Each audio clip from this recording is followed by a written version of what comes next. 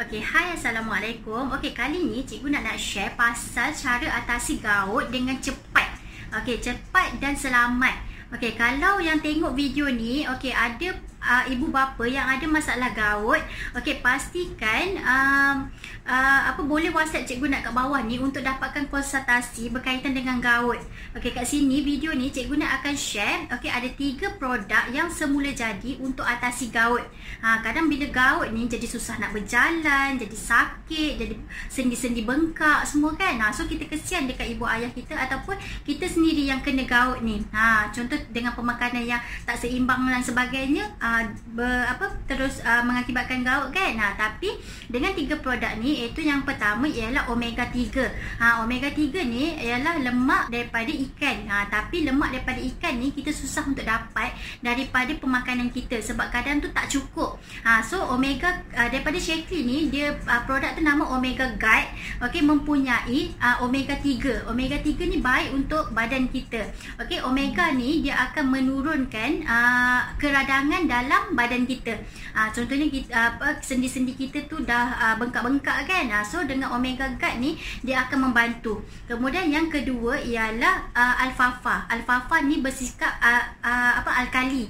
Ha, bila kita kena gout, badan kita tu penuh dengan asid urik. Ha, bila asid ni kita kena lawan dia dengan benda yang berakali. Ha, so janganlah terlalu buat gigi pula kan. Ha, tapi kita ambil alfalfa. Alfalfa ni bersifat akali dan uh, selamat sebab dia datang ในป่าที่เคยบ jadi. Ha kalau kita google pasal alfalfa ni dia ialah bapa uh, segala herba. Ha so uh, boleh tengok dia punya bentuk tu macam mana. Ha so dia sangat-sangat membantulah untuk menurunkan asid urik dalam badan kita.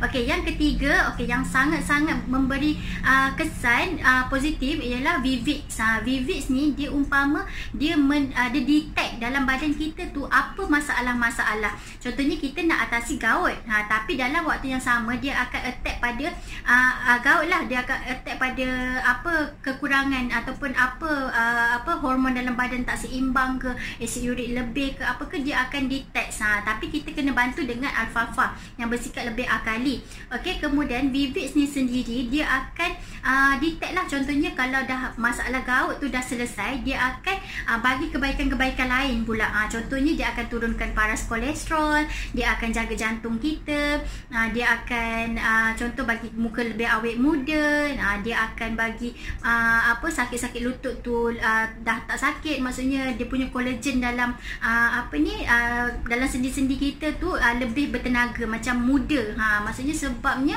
uh, salah satu ingredient uh, ataupun bahan dalam uh, Vivix ni ialah uh, anggur. Ha anggur ni daripada luar negara. Ha khas untuk uh, produk Shakely.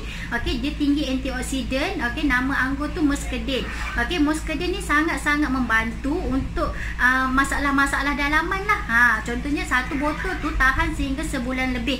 Ha, sangat-sangat membantu untuk kita turunkan uh, masalah gout ni dengan cara yang cepat tapi dapat untuk kolesterol juga. Maksudnya dia bantu untuk turunkan paras kolesterol kita. Okey untuk dapatkan tiga produk ni okey cikgu nak akan ajar cara pengambilan. Contohnya alfalfa nak start dengan berapa biji uh, semua tu dia ada cara pengambilan dia. Ha jangan salah uh, makan. Sebab benda ni kita kena konsult dengan uh, orang yang pakar. Ha contohnya kita kena tahulah pakar nutrisi kita tu. Ha so cikgu nak akan ajar uh, ilmu-ilmu untuk uh, apa cara pengambilan uh, produk-produk gout ni. Okey Cikgu Nat akan share. Okey, kalau untuk pembelian boleh WhatsApp nombor Cikgu Nat ni dan Cikgu Nat akan setelkan sekali dengan cara pengambilan tu. Ha, so tak ada masalah. Kita kita nak bantu ibu ayah jadi lebih sihat kan? Ha, so kita hubungi uh, boleh hubungi Cikgu Nat sekarang dan Cikgu Nat akan bagi tahu tunjuk ajar macam mana nak bagi ibu ayah sihat. Okey, insya-Allah.